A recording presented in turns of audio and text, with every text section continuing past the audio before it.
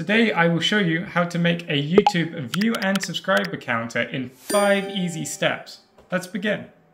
Step 1. Gather the resources.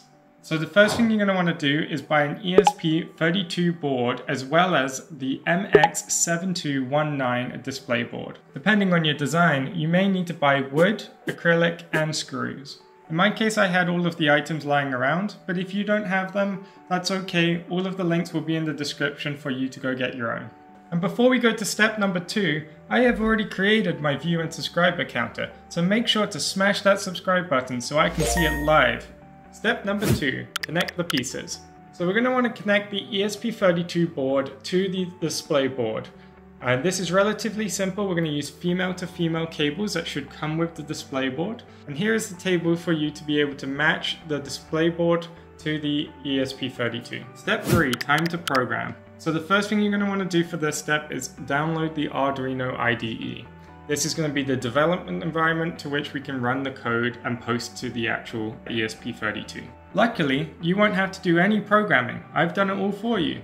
So to get that code, just go into the description and go to the Git repository. There should be four files. One file will be the font, which I grabbed from a YouTuber named The Swedish Maker. Big thanks to him. Second is a secrets folder, which will contain four values that will change later. One is the code or the program itself, which you won't need to do anything with. And the fourth file will be hand-drawn designs that I've made to help you create this box. So in the secrets folder, we will replace four values. First, replace the API key with one of your own. To get the API key, go to https colon slash slash console.cloud.google.com.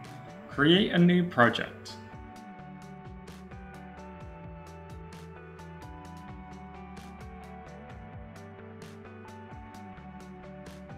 Then go to API and Services and click on Library.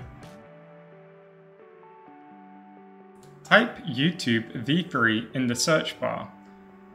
Then click on YouTube v3 and enable.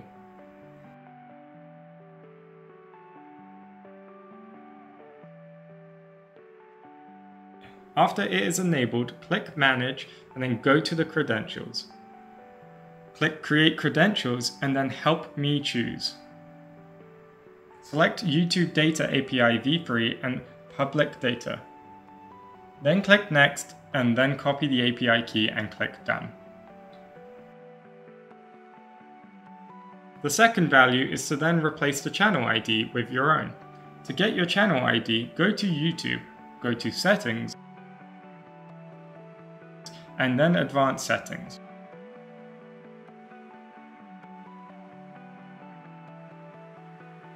Last, replace your internet information, which is its name and password.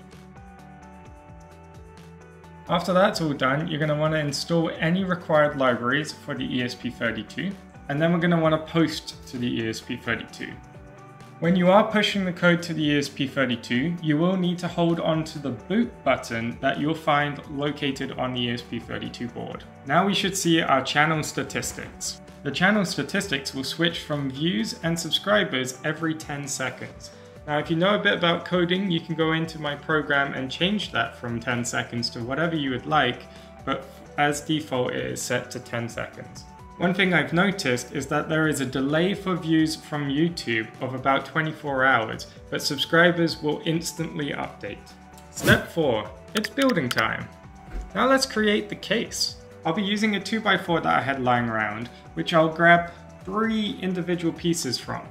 One will be the back plate, the second one will be the middle hollowed piece, and the third will be the front hollowed piece that will actually contain the front screen. I will also need a piece of acrylic, which I've actually linked in the description from Etsy.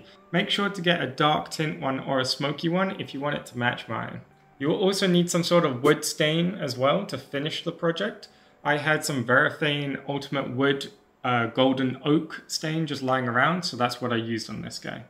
As mentioned earlier, I'll be referencing the design that I created, um, so make sure to print that off and reference it yourself. Now we're going to play a little bit of a montage of me building the actual product. Enjoy!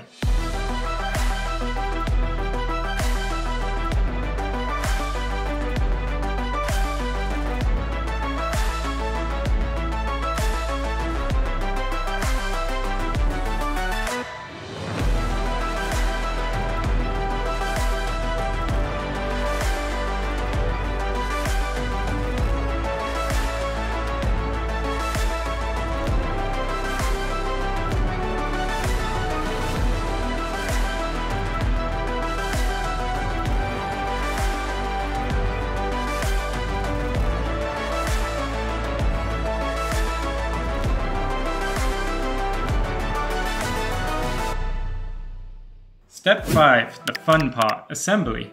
Now that we have all the pieces cut and mostly put together, it's time to add the finishing touches.